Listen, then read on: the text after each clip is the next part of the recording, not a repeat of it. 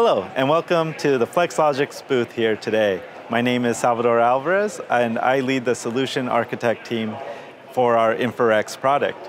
We are focused on accelerating uh, AI models targeted for vision applications, where we have a chip that is running AI models very uh, optima optimally, efficiently, which allows us to cut down on the amount of power used and, and still give that great performance necessary for today's AI models. We have this PCIe card, which uses a, a PCIe by four lanes.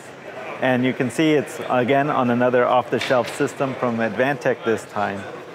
In this application here, it's a hard hat uh, detection camera, and you can see people being detected either with a hard hat or without a hard hat.